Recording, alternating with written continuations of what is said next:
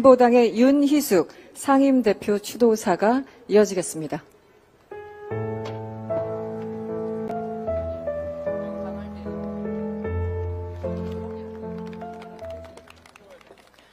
진보당 상임대표 윤희숙입니다.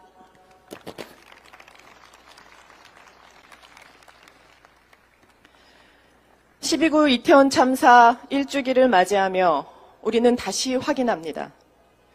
누구 하나 책임지지 않고 누구 하나 책임지지 않아서 누구 하나 책임지지 않았기 때문에 참사가 끝나지 않고 있다는 사실을 사랑하는 아이가 연인이 친구가 어느 날 갑자기 사라지고 다시는 내 곁으로 돌아오지 않는다는 것을 확인한 365일이었습니다. 온전한 애도와 위로를 받아야 할 피해자들이 진상규명을 위해 철저히 처절하게 싸워야 한 12달이었습니다. 그래서 결국 이 나라를 바꾸는 건 이 참사의 진상을 밝히고 고통과 슬픔을 직면하려는 이들의 연대로만 가능하다는 것을 확인한 1년이었습니다. 친구를 두고 혼자 살아남았다는 죄책감에 시달리고 지옥 같은 현장의 기억으로 지금도 약에 의존해 잠을 자야 하는 생존자. 한 명이라도 더 살리기 위해 정신없이 뛰어다니며 심폐소생술을 했는데 참사에 대한 혐오 공격 속에 외상후 스트레스 장애로 고통받고 있는 구조자. 살아가는 이유의 전부였던 아이를 영문도 모르는 채 잃었는데 자식 팔아 장사한다는 가해를 당하고 있는 유가족. 그리고 1년이 지났어도 그날의 기억을 떠올리면 두렵고 미안한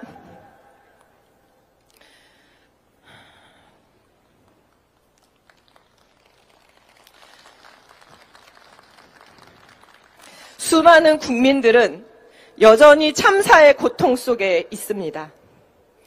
이 모든 고통의 이유는 국가가 책임을 다하지 않았기 때문입니다. 구청이, 장관이, 경찰이, 대통령이 회피한 책임과 죄의식을 유가족과 생존자, 그리고 참사의 고통에 공감하는 무고한 국민들이 떠안고 있기 때문입니다. 그래서 저들은 그대로이고 우리는 고통스럽습니다. 그렇지 않습니까? 그래서 윤석열 대통령은 이 자리에 왔어야만 합니다. 이제라도 가족들을 만나 위로하고 사죄했어야 합니다. 희생자 159명, 한명한 명을 호명하며 온전히 그들의 존재를 인정하고 위로했어야 합니다. 대통령은 그런 자리입니다. 그러나 윤석열 대통령은 끝내 일주기 추모제 자리조차 외면했습니다. 야당이 주도하는 행사라고요? 그러면 여당이 주도하면 되지 않습니까?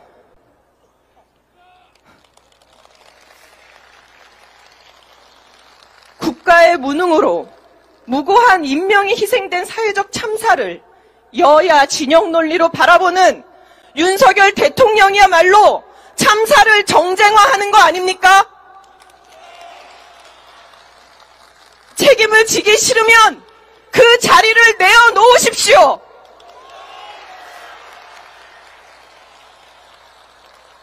간절한 신고를 단 한 번만이라도 제대로 확인했다면 살릴 수 있었습니다.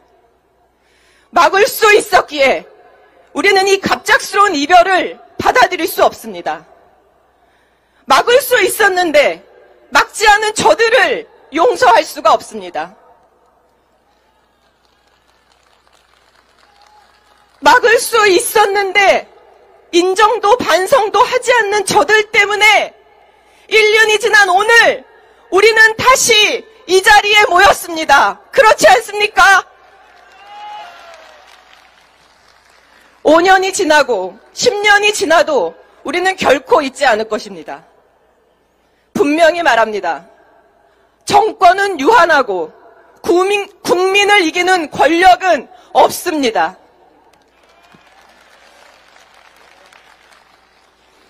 이 정권 들어 무고하고 억울한 죽음이 너무나 많습니다. 정부와 여당에 말합니다. 이 억울한 희생들이 그리고 그로 인한 피눈물이 이 정권을 무너뜨릴 것입니다. 인간적 고통에 혐오와 정쟁으로 응대하는 자들을 심판할 것입니다.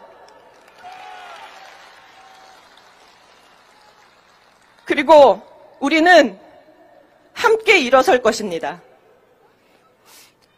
국정 책임자의 무시와 외면으로 구멍난 가슴을 메워준 것은 얼굴 모르는 시민들이었습니다. 남이 아닌 자신의 일로 받아들여준 우리 공동체의 이웃들이었습니다. 우리는 이 힘으로 우리의 공동체를 지킬 것입니다. 안전하고 따뜻한 사회를 기필코 만들어 낼 것입니다. 그렇지 않습니까?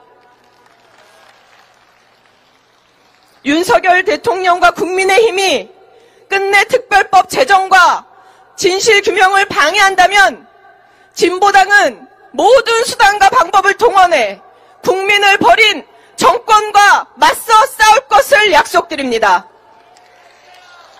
그것이 진보당의 사명이고 존재 이유입니다. 유가족 여러분 곁에서 언제나 끝까지 함께 하겠습니다. 고맙습니다.